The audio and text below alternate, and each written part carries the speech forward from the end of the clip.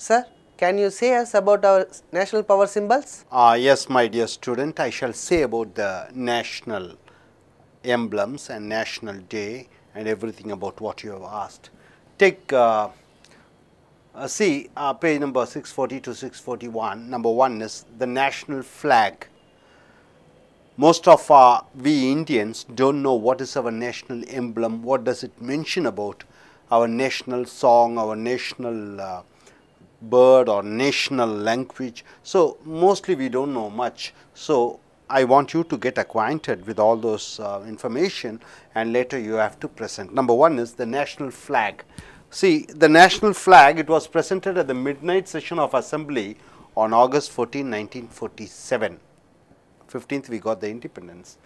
The ratio of the flag to its length is 2 is to 3 that is uh, 2 in uh, no 3 in width and 2 in length that are so 2 is to 3 the three bands are of equal width equal width three bands with deep saffron at the top. At the top you have the saffron color and the white in the middle. Middle you have the white and in the bottom you have the green color at the bottom.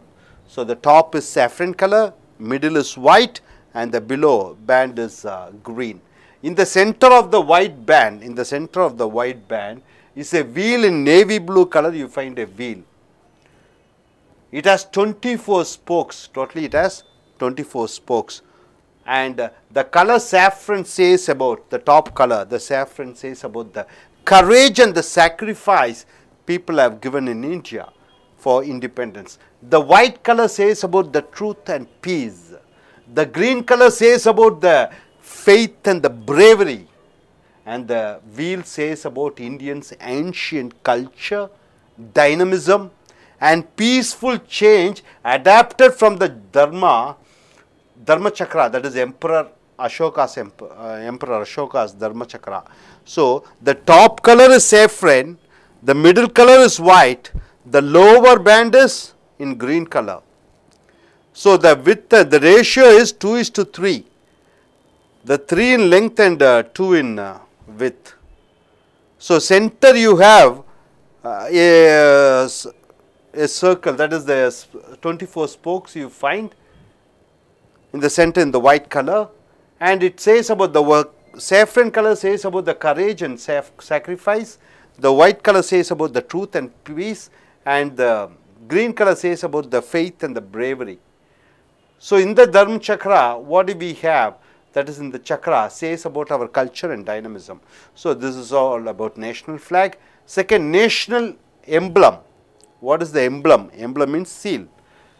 The seal of government of India is a duplicate of the capital of uh, Ashok pillars and uh, Sarnath. Three lions are visible. The emblem you can find three lions and the fourth lion is hidden behind.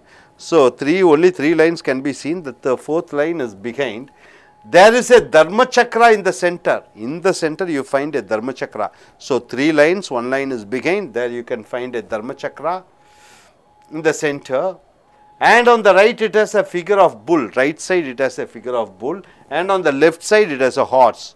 So, in the dharma chakra what do you have? Three lines are visible, fourth line is behind and dharma chakra is there. In the right side you find a bull and on the left side you find a horse. There is an inscription on the emblem which says Satyameva Jayade which means truth alone triumphs Satyameva Jayade. Then the national emblem was adopted on the uh, year 1950 by the government of India. So, 1947 national flag, 1957 it is the national emblem. What you have seen is three lines, one line behind, then there is a chakra and on the right side uh, you find uh, oh, you, you like right side you find a bull and on the left you find a horse. And its inscription was is then. What is the inscription will be there? Satyameva jayade. It means truth alone triumphs. So next third is national anthem. Janagana mana the national anthem. The poet who composed was rabindranath tagore in 1911 and it was adopted on January 24, 1950 by the Constitution Assembly of India. The, pl- the playing time is 52 seconds. So, Jankana Manna is the national anthem and the running time is 52 seconds. The national song, fourth, uh, the fourth, that is Vande Matram. It was composed by Bankim Chandra Chatterjee. It was adapted on the on January 25, 24, 1950. National Congress first sang it on 1896. So, the National Congress sang it on, 18, on 1896, but it was adapted as a national song during the year 24, 1950. The national bird, peacock is the national bird of India, peacock. The national flower is lotus is the national flower. National animal, tiger is the national animal. National language, Hindi is the official language of the government, official language. Um, and uh, of India. India constitution has also recognized 17 other regional languages. So, Hindi being the official language and 17 other regional languages. So, everything comes under the national language Hindi plus the 17 other regional languages. Hindi alone is not the national language, all of the 17 languages also India's national language. And the ninth is National Day. There are six national days in India. What are the days? First is uh, uh, very obviously it is the Independence Day on August 15th because India got its independence. So, it is called our National Day. Uh, first one. Second is Republic Day on January 26 because India became a republic on 1950. It means the written document. India should be run under a written document, constitution. C is Gandhi Jayanti. This is the birthday of Mahatma Gandhi. Day Martyrs Day on January 30th. This day Gandhi was shot dead and he was assassinated. This day is considered to be the India's national day. Children's Day. This is the birthday of Pandit Jawaharlal Nehru, the first Prime Minister of India who ruled India for almost 17 years and he was a great freedom fighter. Then Children's, uh, that is uh, Teachers Day on September 5th, birthday of Dr. V. Uh, yes, uh, Dr. S. Radhakrishnan. He was a teacher by himself. Uh, himself. Then he is the second president of India. Thank you, sir. Can you also say some other important days? Uh, some important days are National Integration Day on 9th November. National Integration Day means India has different states and uh, everything. Uh, the second is Flag Day on 7th December, Army Day on 15th uh, January, Air Force Day on 8th October, Navy Day on 4th December, National Youth Day on 12th January, Quit India Day on 19th August, Post Office Day on 9th October, National Republic Day on 28th February, National Science Day on 28th February, National Ma Maritime Day on 5th April. So, hope you are able to understand national flag, national emblem, national anthem, national song, a national bird, national flower, national animal, national language, national days and other important days. Thank you, sir. Can you tell us about India states? Uh, dear folks, in world, in this planet, we have nearly 194 countries, people of different races, people of different religion, people of different caste. But India is a holistic country. High rare natural resources are there in India which you don't find in Australia, which you don't find in China, which you don't find in America. Australia, three-fourth of Australia is waste, three-fourth of China is waste. It is not agriculture land. But India, we have the powerful resources that makes India so rich country. So, some of the features of India, the largest state is called Madhya Pradesh. India has different states and different um, language speaking people. So, the largest state is Madhya Pradesh and the smallest state is Goa.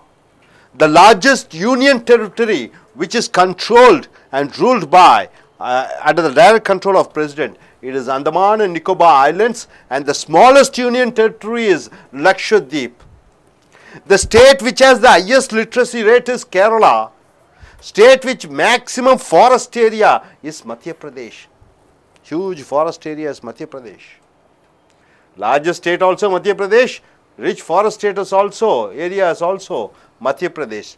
State which is most densely populated, lot of population is West Bengal, the most populous, populous country. State which produces maximum sugar, Uttar Pradesh. Sugar is a rich crop and it's Uttar Pradesh which produces the maximum amount of uh, sugar. State which has highest cattle population is Uttar Pradesh. State which has maximum cities is Uttar Pradesh. State which has the highest mineral output is uh, Bihar. Uh, Thank you, sir. Could you tell us about the record makers of India? Who is the first Prime Minister of India? Lady Prime Minister of India is Indira Gandhi. Who is the first Muslim President of India? Is Jahir Hussain. And first Sikh President of India, who is that? Jani Jail Singh. And uh, first to be crowned as Miss Universe. Miss Universe, first Miss Universe in uh, India, from India, Susmita said. First Miss World from India, Miss Aishwarya Rai. First and the last Governor General of India, C. Rajagopalachari. And first Prime Minister of uh, India. Who is the first Prime Minister of India?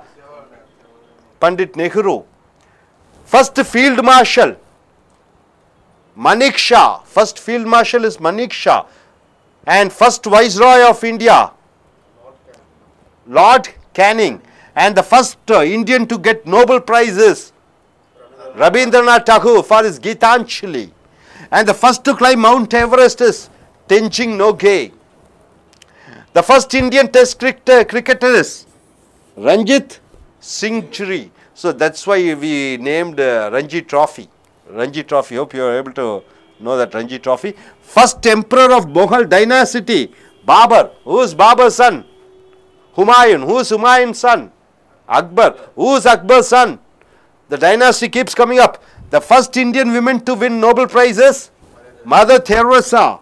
And the first uh, women judge of Supreme Court is, and she was uh, governor of uh, Tamil Nadu also, Fatima Bibi. Bibi. And the first women IPS officer, Kiran Bedi. She is a national tennis player also. Now she is uh, fighting against corruption. And the first women IAS officer, Anna George Malhotra. First women IAS officer, IPS officer is Kiran Bedi. First IAS officer is Anna George Malhotra. First women governor of a state, Sarojini Naidu. Sarojini Naidu, Naidu is the first governor, women governor of a state. First women minister, Vijay Lakshmi Pandit. And the first women chief minister of a state is Sujita Kripalani. Kripalani. She was the first uh, women chief minister of a state is Kripalani.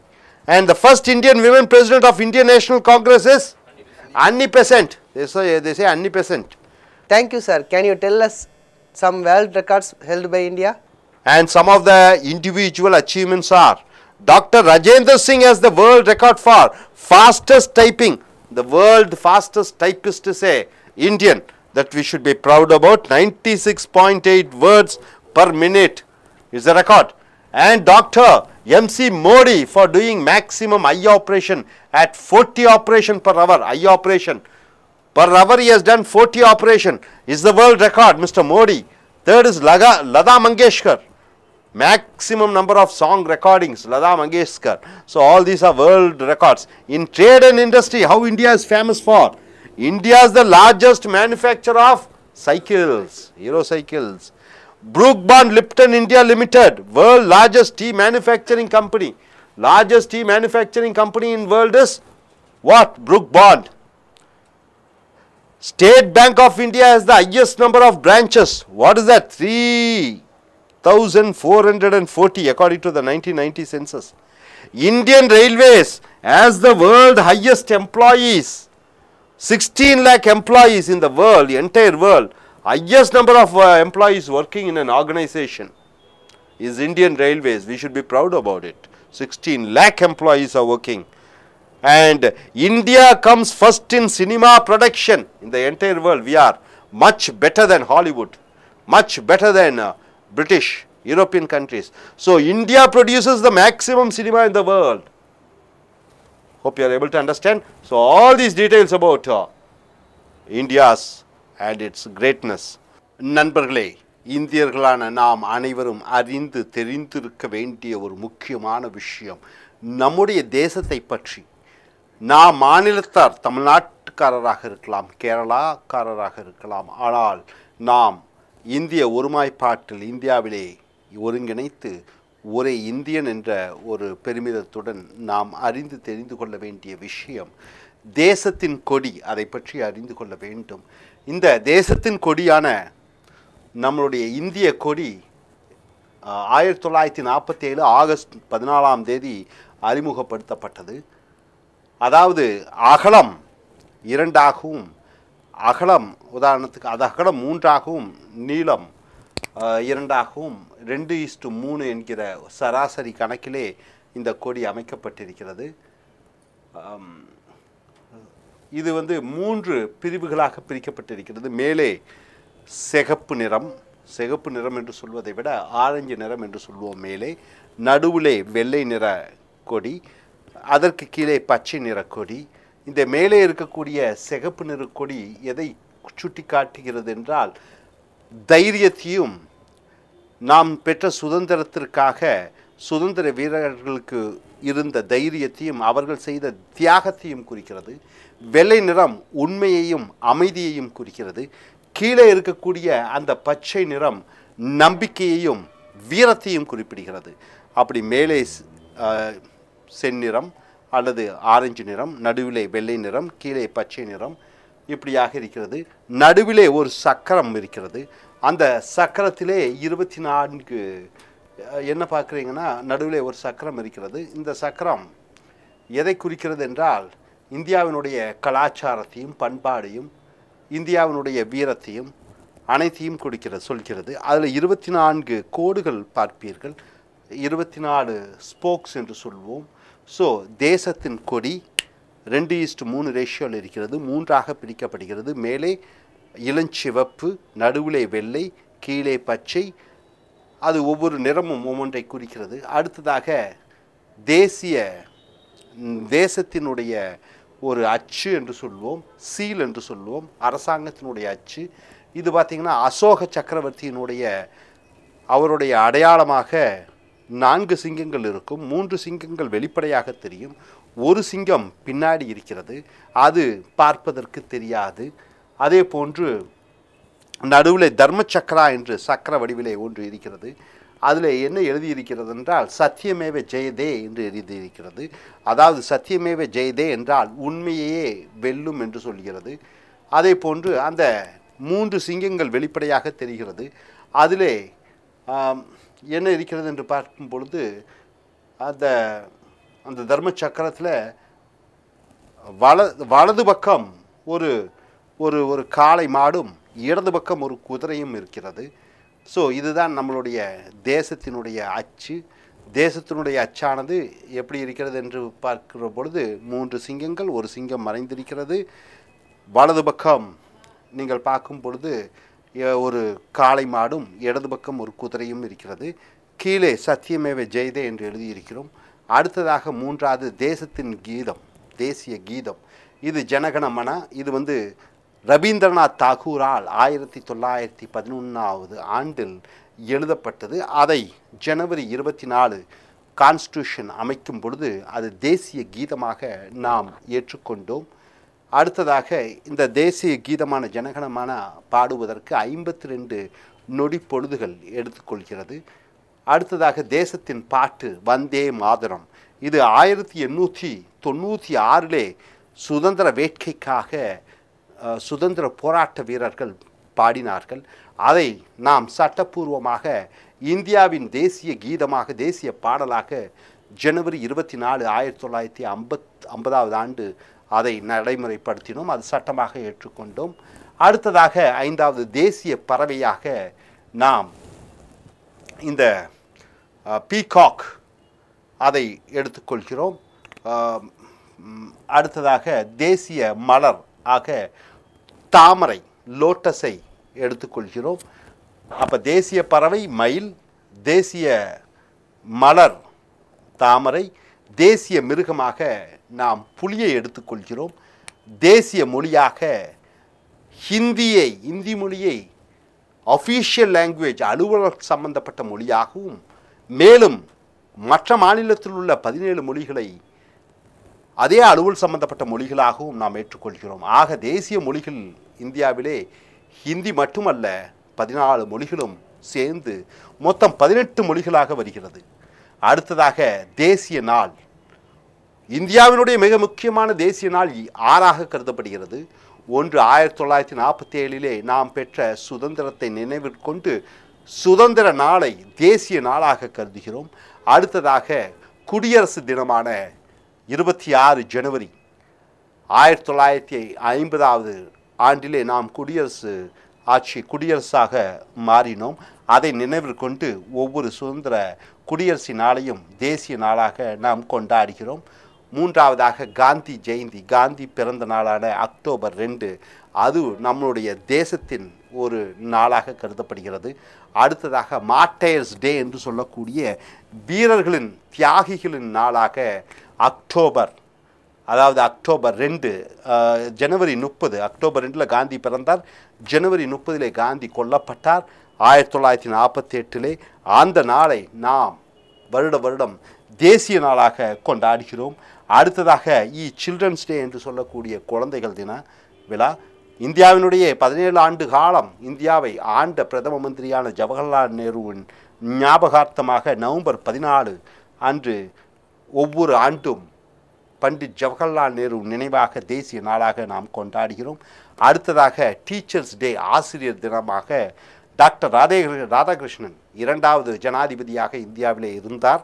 அவரின் நினைவாக இந்த teachers day கொண்டாடுகிறோம் மொத்தம் இந்தியாவினுடைய முக்கியமான தேசிய நாளாக ஆறு நாட்கள் கருதப்படுகிறது. சுதந்திர தினம் குடியரசு தினம் அடுத்ததாக காந்தி ஜெயந்தி காந்தி பிறந்த நாள் காந்தி மறைந்த நாள் நேருவினுடைய பிறந்த நாள் அடுத்ததாக இரண்டாவது ஜனாதிபதி ராதாகிருஷ்ணனுடைய பிறந்த நாளை நாம் தேசிய நாட்களாக கொண்டாடுகிறோம்.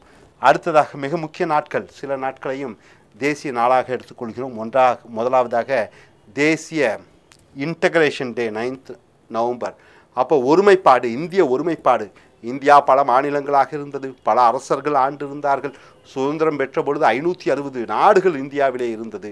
அதை அனைத்தையும் ஒருங்கி ஒருங்கிணைத்து ஒன்றுபட்ட இந்தியாவை உருவாக்கிய காரணத்தினாலே தேசிய ஒருமைப்பாட்டு தினமாக ஒன்பது நவம்பர் மாதம் நவம்பராவது நவம்பர் மாதத்தில் கொண்டாடுகிறோம். அடுத்தது குடி கொடி நாளாக ஏழு டிசம்பரை கொண்டாடுகிறோம். அடுத்தது மில்ட்ரி டே ஆர்மி டே என்று சொல்லக்கூடிய uh, ஃபிஃப்டீன்த் ஜனவரி நம்மளுடைய இராணுவ தினமாக பதினஞ்சு ஜனவரியை கொண்டாடுகிறோம். ஏர்ஃபோர்ஸ் டே அப்போ விண்வெளி வான்வெளி நம்ம படைகளுக்கான எத்த எட்டு நவம்பர் நேவி டே என்று சொல்லக்கூடிய கடல்வெளி ஆர்மிக்காக uh, நம் இராணுவத்திற்காக இந்த நாளும். தேசிய இளைஞர் தினமாக பன்னிரெண்டு ஜனவரியும் குவிட் இண்டியா டே அதாவது வெள்ளையினை வெளியேறு என்று சொல்லக்கூடிய பத்தொன்பதாவது ஆகஸ்டை முக்கியமான நாளாகும். போஸ்ட் ஆஃபீஸ் டே அதாவது அஞ்சல் அலுவல் தினமாக ஒன்பது அக்டோபரையும் நேஷனல் ரிபப்ளிக் டே அப்போ குடியரசு தேசிய குடியரசு நாளாக இருபத்தெட்டு பிப்ரவரியும் நேஷனல் சயின்ஸ் டே இந்தியல் அறிவியல் ரீதியாக இந்தியா ஒரு வல்லரசு நாளாக இருக்க வேண்டும் என்பதற்காக நேஷனல் சயின்ஸ் டேவை இருபத்தெட்டு பிப்ரவரியிலே கொண்டாடுகிறோம். அடுத்தது நேஷனல் மேரிடைம் டே என்று சொல்லக்கூடிய கடல் சம்பந்தப்பட்ட அந்த நாளை ஃபிஃப்த் ஏப்ரலும் கொண்டாடுகிறோம். ஸோ இது முக்கியமான தினங்களை மனதிலே கொண்டு இதை நீங்கள் இங்கே மேடையில் வந்து பேச வேண்டும். ஸோ நண்பர்களே உங்களுடைய ஆங்கில புக் அறுநூற்றி நாற்பத்தி ஒன்று நாற்பத்தி ரெண்டு இலக்கண புஸ்தகத்தை எடுத்துக்கொள்ளுங்கள் இந்தியா ஒரு கலாச்சாரம் மிகுந்த நாடு. இந்தியா பொருளாதார வல்லமையுடைய நாடு. இந்தியா அனைத்து வன மண் வளங்கள் உடைய நாடு. ஸோ இந்தியா பல மாநிலங்களுடைய நாடு. இந்தியா பல மொழிகள் பேசக்கூடிய நாடாக விளங்குகிறது. அதிக அளவில் மிகப்பெரிய மாநிலமாக இந்தியாவிலே மத்திய பிரதேச சொல்லுவோம் சிறிய மாநிலமாக கோவாவை சொல்லுவோம் மிகப்பெரிய யூனியன் பிரதேசமாக அந்தமான் நிக்கோபார் தீவுகளை சொல்கிறோம் சிறிய யூனியன் பிரதேசமாக லட்சத்தீப்பை சொல்கிறோம் அதிக அளவு மக்கள் படித்த மாநிலமாக கேரளாவை சொல்கிறோம். அதிக அதிக வளங்கள் உடைய அதாவது காடுகள் உள்ள இடமாக மத்திய பிரதேஷ் மாநிலத்தை சொல்கிறோம். அதிகளவு ஜனத்தொகையுள்ள மாநிலமாக வெஸ்ட் பெங்காலை சொல்கிறோம். அதிகளவு சர்க்கரை உற்பத்தி பண்ணக்கூடிய மாநிலமாக உத்தரப்பிரதேசம். அதிக அளவிலே கால்நடை ஜீவிதங்கள் ஜீவனங்கள் இருக்கக்கூடிய மாநிலமாக உத்தரப்பிரதேசம். அதிக அளவிலே நகரங்கள் இருக்கக்கூடிய ஒரு மாநிலமாக உத்தரப்பிரதேசம். அதிக அளவிலே அதிக அளவிலே மினரல்ஸ் மண்ணு கீழே இருக்கக்கூடிய சக்தி வாய்ந்த சக்தி வாய்ந்த திறனுள்ள என்ன சொல்லுவீங்க? வளங்கள் வளங்கள் வளங்கள் மினரல்ஸுக்கு வேற என்ன சொல்லுவீங்க? கனிமங்களை உடைய மாநிலமாக பீகாரை சொல்கிறோம். முதல் இந்திய பிரதம மந்திரியாக பெண் பிரதம மந்திரியாக இந்திரா காந்தி இருந்தார். முதல் முஸ்லிம் ஜனாதிபதியாக ஜாகிர் ஹுசேன் இருந்தார். முதல் சீக்கிய ஜனாதிபதியாக ஜானி ஜெயில் சிங்கும் மிஸ் யூனிவர்ஸ் மிஸ் யூனிவர்ஸ் என்றால் என்ன? அந்த ஆகாசம் என்று சொல்வார்கள். அனைத்திற்கும் சேர்ந்து அந்த ஆகாசத்திலேயே சிறந்த பெண்ணாக சுஸ்மிதா சென்னும். மிஸ் வேர்ல்டு உலகத்திலே பேரழகியாக ஐஸ்வர்யா ராயும். அடுத்ததாக முதலாவதாக மேலும் கடைசியான கவர்னர் ஜெனரல் ஆஃப் இந்தியா ஆயிரத்தி தொள்ளாயிரத்தி நாற்பத்தி ஏழிலிருந்து ஆயிரத்தி தொள்ளாயிரத்தி ஐம்பது வரைக்கும் வைஸ்ராய் காலி பண்ணிய பதவியை இது கவர்னர் ஜெனரல் என்ற ஒரு பதவியை கொடுத்து அங்கே உட்கார வைத்தார்கள் சி ராஜகோபாலாச்சாரியார் அவர்களை. அடுத்ததாக முதல் பிரதம மந்திரியாக பண்டிட் ஜவஹர்லால் நேருவும் முதல் field marshal Manekshaw. Field marshal என்றால் என்ன? இப்போ ஆர்மிக்கு ஒரு தளபதி இருக்கிறார் நேவிக்கு ஒரு தளபதி இருக்கிறார் ஏர்ஃபோர்ஸுக்கு ஒரு தளபதி இருக்கிறார். தளபதிகளுக்கு தளபதியாக இருக்கக்கூடிய பதவியை ஏர் மார்ஷல் ஏர்ஃபீல்ட் மார்ஷல் என்று சொல்கிறோம். அந்த ஃபீல்ட் மார்ஷல் பதவி இப்பொழுது இல்லை. ஃபீல்ட் மார்ஷல் கரியப்பா என்று சொல்வோம். இவர்களுடன் முடிந்து விட்டது. இப்போ மானிக் ஷா. அப்போ பழைய தளபதிகளுக்கெல்லாம் தளபதியாக மானிக் ஷா இருந்தார்.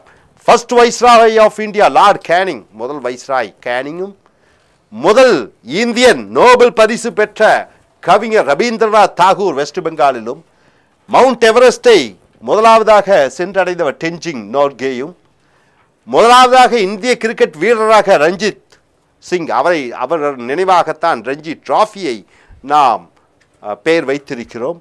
முதலாவதாக முகலாய சக்கரவர்த்திகளின் முதலாய சக்கரவர்த்தியாக பாபரையும் முதலாவதாக பெண் நோபல் பரிசு பெற்ற பெண் மத தெரசாவும் முதல் பெண் சுப்ரீம் கோர்ட்டிலே ஜட்ஜாக இருந்தார்கள் தமிழ்நாட்டிலே கவர்னராகவும் இருந்தார்கள் ஃபாத்திமா பிவி பிவியும் முதல் பெண் ஐபிஎஸ் ஆஃபீஸராக கிரண் பேடியும் முதல் ஐஏஎஸ் பெண் ஆஃபீஸராக அண்ணா ஜார்ஜ் மல்கோத்ராவும் முதல் பெண் கவர்னராக சரோஜினி நாயுடுவும் முதல் பெண் மந்திரியாக விஜயலட்சுமி பண்டிட்டும் முதல் முதலமைச்சர் சச்சின் கிருபாலினியாகவும் முதல் இந்திய ஜனாதிபதி இந்திய தேசிய காங்கிரசினுடைய காங்கிரசினுடைய தலைவராக இப்பொழுது சோனியா காந்தி இருக்கிறார்.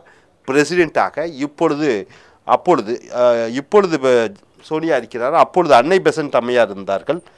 Some of the individual achievement தனிப்பட்ட இந்தியர்களுடைய சாதனைகள் பார்த்தீங்கன்னா ராஜேந்தர் சிங் உலக அளவிலே அதிக அளவிலே வேகமாக டைப் அடிக்கக்கூடிய திறன் பெற்றவர். இவர் பெற்றது தொண்ணூற்றி ஆறு பாயிண்ட் வார்த்தைகளை ஒரு மினிட்ல செய்து முடிக்கக்கூடியவர். அடுத்ததாக மோடி அதிக கண் ஆப்ரேஷன் செய்தார்கள். கண் ஆப்ரேஷனை நாற்பது ஆப்ரேஷன்களை ஒரு மணி நேரத்தில் செய்தார்கள். அப்போ கணக்கு பாருங்கள் ஒன்றரை நிமிடத்திற்கு ஒரு ஆப்ரேஷன் என்ற விகிதத்திலே. அடுத்ததாக லதா மங்கேஷ்கர் அதிக அளவிலே பாடல்கள் பதிவு செய்த உலக சாதனையை படைத்திருக்கிறார்கள். ட்ரேட் வியாபாரம் இண்டஸ்ட்ரி தொழிற்சாலைகள். இதை ட்ரேட் அண்ட் இண்டஸ்ட்ரியில் இந்தியா எப்படி ஒரு வல்லரசாக இருக்கிறது என்று பார்க்கிறோம். இந்தியா அதிக அளவிலே சைக்கிள் உற்பத்தி பண்ணக்கூடிய ஒரு நாடாக இருக்கிறது Hero cycles. Brooke Bond Lipton tea உலக அளவு- அளவிலே அதிக அளவில் டீ தயாரிக்கும் நிறுவனமாக இருக்கிறது. ஸ்டே ஸ்டேட் பேங்க் ஆஃப் இந்தியா அதிக அளவிலே கிளைகள் இருக்கிறது. மூவாயிரத்தி நானூற்றி நாற்பது கிளைகள். இந்தியன் ரயில்வே இந்தியா ரயில்வேயிலே பதினாறு லட்சம் பேர் வேலை செய்கிறார்கள். உலக அளவிலே அதிக அளவிலே வேலைக்கு ஆட்களை வைத்திருக்கக்கூடிய நிறுவனமாக இந்த இந்தியன் ரயில்வேஸ் விளங்குகிறது. ஸோ இதெல்லாம் இந்தியாவினுடைய இந்தியர்களுடைய சாதனை. இப்பொழுது இந்தியாவினுடைய சாதனை என்ன என்று பார்த்தீர்கள் என்றால் ஏதாவது ஒன்று சொல்லுங்கள் பார்க்கலாம். சாஃப்ட்வேரில் சொல்லலாம் பேக் ஆஃபீஸில் சொல்லலாம் ஏற்றுமதி எக்ஸ்போர்ட்ஸில் சொல்லலாம். இவை அனைத்தும் இந்தியாவினுடைய சாதனைகள். மேலும் இதில் பார்த்தீங்கன்னா அடுத்தது என்னன்னு பார்த்தீங்கன்னா Lata Mangesh trade and industry we finish Indian railways we finished and okay இதில் பார்த்தீங்கன்னா இன்னும் கொஞ்சம் ரெக்கார்ட்ஸ் இருக்குது அதை நீங்கள் நீங்கள் தான் படித்து நீங்களே பார்த்து கொள்ள வேண்டும். ஸோ க சினிமா ப்ரொடக்ஷனில் இந்தியா உலக அளவிலே பெரிய நாடாக இருக்கிறது. அடுத்ததாக டைமண்டுகளை வெட்டி அனுப்புவதில் இந்தியா மிகப்பெரிய நாடாக இருக்கிறது. டீ ஏற்றுமதியில் இந்தியா பெரிய நாடாக இருக்கிறது. ரிலையன்ஸ் கம்பெனி ஷேர் ஹோல்டர்ஸ் பங்குதாரர்கள் அதிக அளவில் இருக்கக்கூடிய நாடாக நாலு நானூற்றி ஒரு லட்சம் பங்குதாரர்கள் இருக்கிறார்கள். சுகர் சர்க்கரை உற்பத்தியில் இந்தியா மிகப்பெரிய நாடாக இருக்கிறது. அயன் அண்ட் மெக்கா அதில் மைக்காவில் அதிக அளவில் புகழ் வாய்ந்ததாக இருக்கிறது. ஐஎஸ் ரேடியோ ரயில்வே ரேடியோ ஸ்டேஷனாக ஆல் இந்தியா ரே- ரேடியோவும் குத்தப் மினார் உலகத்தினுடைய ஐ உயர்ந்த கோபுரமாகும் அடுத்ததாக India Indira Gandhi open national university திறந்தவெளி பல்கலைக்கழகத்திலே அதிக மாணவர்கள் படிக்கிறார்கள். எண்ணிக்கை பார்த்தீங்கன்னா ரெண்டு லட்சம். இது வந்து ஆயிரத்தி தொள்ளாயிரத்தி தொண்ணூற்றி மூன்றில். இதெல்லாம் இது. அடுத்ததாக இப்போ இதெல்லாம் பார்த்தீங்கன்னா இதெல்லாம் ஆல்மோஸ்ட் இந்தியாவினுடைய சாதனைகள். Hope you are able to understand thank you my dear friend thank you sir.